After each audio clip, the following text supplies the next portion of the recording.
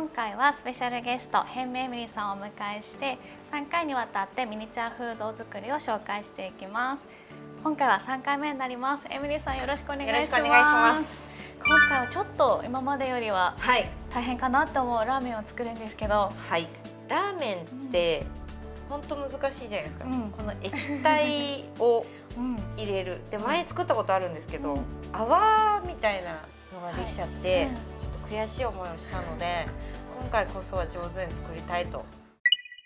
じゃあ早速作っていきたいんですが、はい、初めにチャーシューを作っていきたいので、はい、白と茶色の粘土があるので、はい、こちらを開けてもらいます。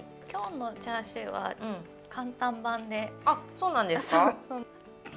すいません。時間時間かかりそう。手伝いましょうか。もうすぐでもうすぐでできると思います。これがすごい。張り付いちゃってね。はい。えっ、ー、と一枚分を取りたいので、まず白を。あ結構ちっちゃい。結構ちっちゃいですね。でチャーシューをあそうですチャーシューをこれのまあ三倍ぐらいになったら、まず上に白をこう上に白。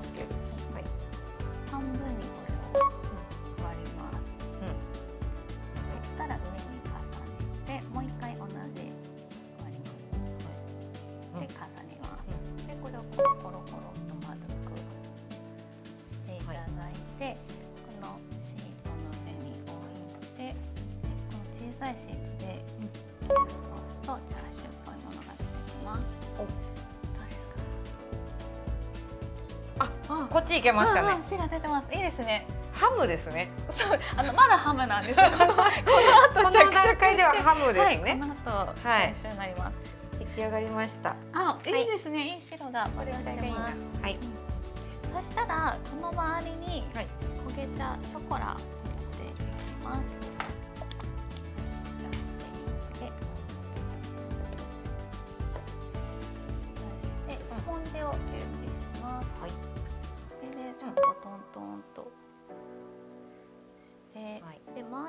周りのこの側面を塗っていく感じです。ほうほう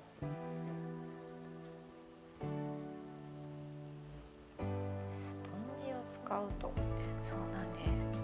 ちょっとそれらしくなってきました。焼き豚はいそうですちゃんが出来上がってきた感じです。もう目がね乾燥してきます。そうなんです。目が見えなくてね見えなくなってきてもう、ね、乾燥してます。はい。はい。ただ今の状態でもいいんですけど、うん、ちょっとここがまだ薄いかなと思ったら、うん、えっと綿棒に少し水をつけて、うっすらこうトントントントンとやるともうちょっと色がついていきます。簡単チャーシューですねこれ。そうそうそうあのねはいすごい簡単にできるチャーシューの作り方です。できた。はい、どうですか？これぐらいの。あ美味しそうです。美味しそうですね、うん、今度ネギをカットしていきます、はい、えっ、と薄めに。隙間が。ネギかわいい。チャーシューに対してのね、うん、いろいろ考えてた方がいいですね。ついにあのメインの麺をいきたいと思います。来ましたね麺。このモンブランメーカーっていうものを使ってきます。ここにこれですね。はい。はい、この中に着色をした粘土を入れるんですけど、これがかなり衝撃的な可愛さなので、うん、最初にやってみた方がいいと思います。えー、本当ですか？えー、あ、でもモンブランの、うん、あの上の、うん、そうですそうです。これをそれが出てくるですね。はい。で出した時にずっとここに出してると粘土固まっちゃうので、上がっていくか横にずれるかで、はい、入れちゃえばいいですね。構力がいるんですが、うん、ぎゅっと。おお。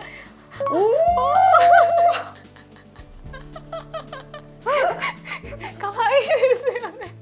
なんすかこれ。そこで一旦ちょっと待っててください。はい、待ってます。乾かします。はい。ー。細そうなんです。この中のアタッチメントがいろんなサイズがあるので、うん、これが一番細いなるほど。先生そこ太くないですか？なんか私力かけていつもこれ なんか二三本太いのが出ちゃうんですよ出ますよねえ？なんでかわからない。そういうもんなんですね。これが乾いたらカットした方がいいので、うんうん、ちょっともうちょっと。ちょい待ちですね。はい。あんなに苦労してこうやってやってたました。そうですよね。そろそろいいかなと思ったら、うん、こう手でここちぎっちゃいま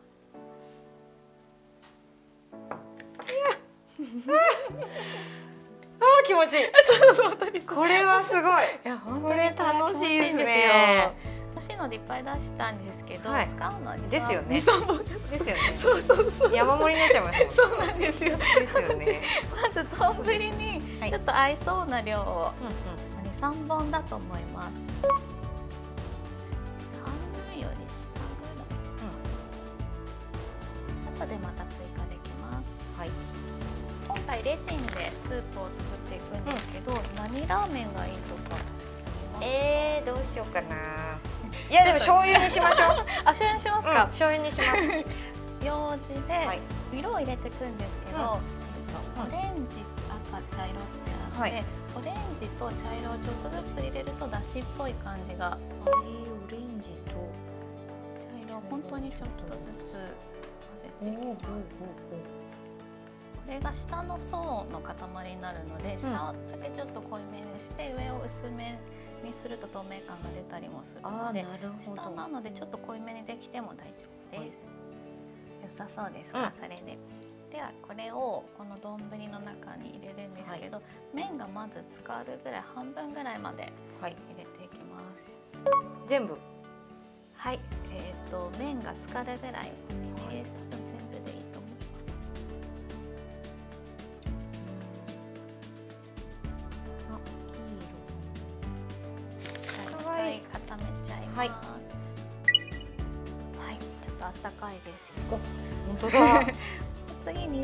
なんですけど、はい、また色を混ぜて、うん、入れた後に具を置いて、うん、で固めていこうかなと思いますので、はい、まず色をさっきより薄めの方がいいと思います。いいと思います。はい。でスープを入れるんですど、うん、あんまりいっぱいだとなみなみになっちゃうので、あなるほど、はい、いっぱい入れすぎない。はい。二層になるとこういう綺麗さが生まれるわけだ、でまた麺をちょっと入れた方が下に沈んじゃってる感が出ちゃうので、ここから具を入れていくんですけど、はい、いろいろ並べてあるものを乗っけても乗っけなくても大丈夫です。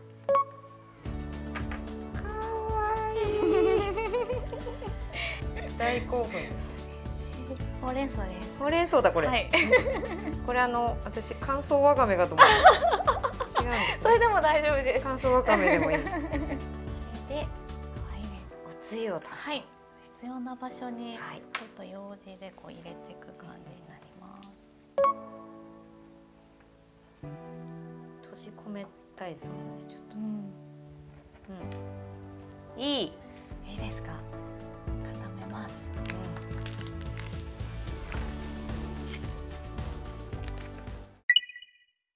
はい、やったー。かわいい。やばい。かわいい。です。あすごい。そう。美味しそう。チャーシュー上手ですね。いい感じできましたチャーシュー、うん、うん、完成しました。美味しそう。これはもう超高カロリー定食ですね。そうですね。五日ぐらいいけそうなカロリーが。いや嬉しい。ラーメンもできて。楽しい。どうでしたか？ラーメンやっぱり大変でしたか？いや大変だけど、うん、やっぱなんかこのまたこう傘をどう増していくかとか、うん、なんかそういうのが本当に繊細で楽しいです。うん、上手ですね。の作り方もですし。あ、本当ですか？うん、嬉しい。上手に美味しそうです。そういうプロの方にしてもらったらもう。いやプロですよ。教会の先輩です。いやいや教会の方ですから。プロですよ。思ってません。本当ですか？先輩の元でやってます。大先輩です。そんなえー、嬉しい。そうなんです。インスタが流行りだして、なんかみんなミニチュア好きなことを言えるようになったような気もします。確かに。アメーバじゃちょっとまだ言いづらいみたいなねあのブログの時代は。そうですよね。そう。ですね。自分のちょっと趣味ちっちゃな趣味って感じで。すよね、はい、反応。いやでもなんかこうみんなでやると楽しいでしょうね。楽しいです。私やっぱ自分独自のね一、人でやってたから、今日二人で作るだけでも楽しい。楽しいですよね。なんか目はこっちなんですけど、こう喋りながら。ね。できるっていうのはすごくいいなと思いました。楽しいです。ね、なんか違う。の作るのよ。本当ですか？私いつでも来たいです。本当に。はい。えもうぜひ何かもう来ますよ。もう何でも言ってくれたら準備します。プライベートでやれた。いやでも本当になんか作りたい対策作りたいですね。あそうですね。私いつか中華のテーブル作るのが夢なんですよ。あのそれを教えてる講師がいます。本当ですか？回る回る回るやつ、はい。中華コースっていうのがあるんですよ。すごい夢です。じゃ次は中華セット。ちょっと中華セットそのあの担当者の担当者を呼んで 一緒みんなでテーブルからね作っておかもちとかも作っていやいいですね。じゃあ私何作るね私何作るねみたいな。いいですよね。楽しいです。楽しいです。ねすごい時間かかりそう。かかりそうです ね。ちょっと YouTube だと難しいかもしれないけど。ぜひね。ね、はい、次作りたいのは、中華以外だと何かもありますか？なんだろうな。でもデザート系も作ってみたいですし、洋食系の。お店みたいな。あ、お店やっぱお店になる。あと寿司、寿司もね作ったけどやっぱ寿司もやりたいな。お寿司難しいんですよですよね。結構小さく。小さいしなんかあの質感とかもね出すのが、はい。生魚の難しさみたいな。そうなんですよ。なんかその辺もぜひ教えていただきたい。先輩の言うことなんで私 ミニチュアの先輩、かしっくりこないです結構いろんなところのインタビューで言ったんですよ、はい、あの伝わるといい全然伝わってこなかったですけどなんか端折られてますよねそこ。その話は大丈夫ですみたいな。話してるけど記事になってない可能性あります もうこのお礼を伝えたいと思って結構伝えたんです、は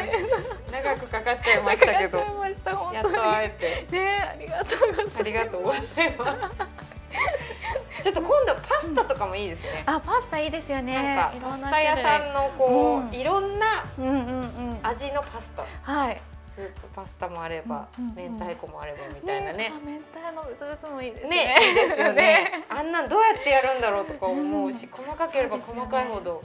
娘さんも一緒に作ってるんですか？いや、娘はもうなんか作るんですけど、最近は絵ばっかり描いてて、なんか作らされる。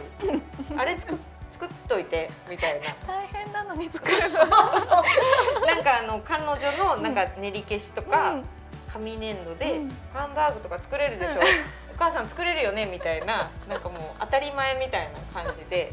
でも作るとすごいって。あやっぱそうなんですね。言ってくれるからその声を求めてそしてハマっていきますよね。いやハマっていくと思います。もう私どっちかだと思いますみーちゃんも、すっごいドハマりするか、いやもうブブブブブブっていうかなんでそんなことしなきゃいけないそうですね食べられないんでしょそう食べられないんでしょっていうねことになると何のために作ってるのっていうのは結構言われますですよね、でもなんか意味があるんですよね、自分の中ではねそうですよねすごい癒しの時間だなと思います、本当に本当がミニチュアがこんだけ流行ったことはすごい嬉しいことですよね。ねなんかもっと本当に、う。ん、あの影の存在だったから、ね、はい、でも本が出てとか、うんうんうんうん、なんかこんだけ作る人もねああやって見てると増えてるから、うん、すごい嬉しい、ね、本当に嬉しいです。嬉しいです。ちっちゃいからずっと飾っとけるのそうそうそうそう。で意外とだってもう私44ですからこれ小学校5年の時に作ってますからね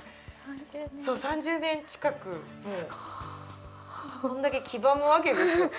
それでもいい状態ですごいいいと思います残ってますよね、うん、ケースに入れましょうみんな。そしたらこれぐらいにはきっと。はい、はい、残っていくと。本当に感動です。こちらこそですこんな日が訪れるなんて。こんなこんなじゅさっきの素敵なの作れるなんて嬉しかったです。ありがとうございます。素敵な時間こちらこそです。今回はラーメンを作ったんですけども他の動画では他のミニチュアフードも作っているのでぜひ見てください。見てください。ありがとうございます